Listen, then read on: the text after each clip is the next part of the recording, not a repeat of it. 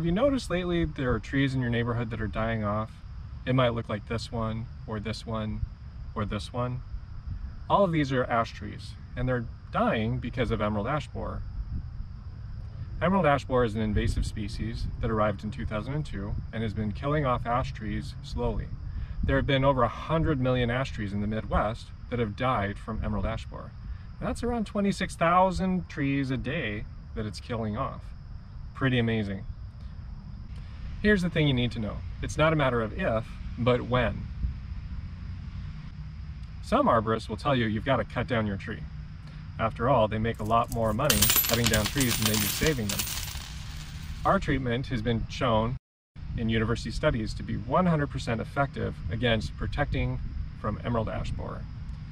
We inject the tree, and the treatment is good for two years.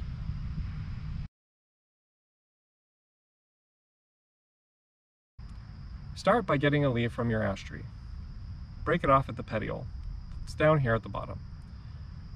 These smaller leaves are actually leaflets. The whole leaf comprises, starting at the petiole, all the way up.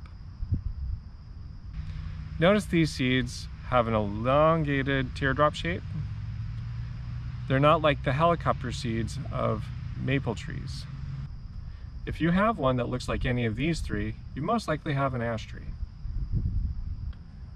Here are a couple of other leaf options, but these are not quite right. This one is a honey locust. Notice that the leaflets are much smaller and there's lots more of them. This other leaf is a black walnut.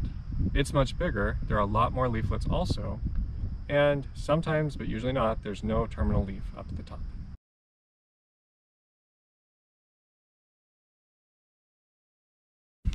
Start by wrapping your arms around the tree, giving it a great big bear hug.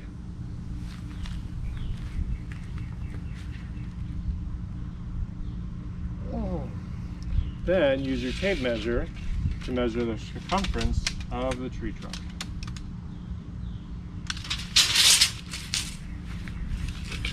This tree is 54 inches.